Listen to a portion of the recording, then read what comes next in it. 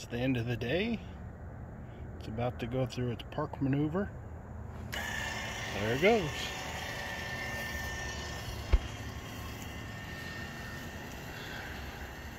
It's not a very smart park maneuver. All it does is run the actuator all the way out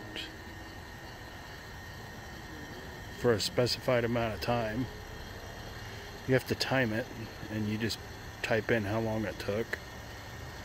And then after it gets all the way, after it runs for that amount of time, it sits there and waits. And then it comes back and amount of time you want it to come back.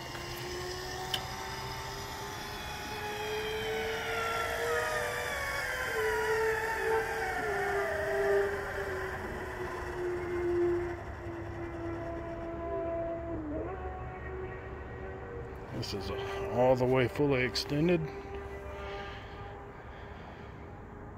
to the north and to the east.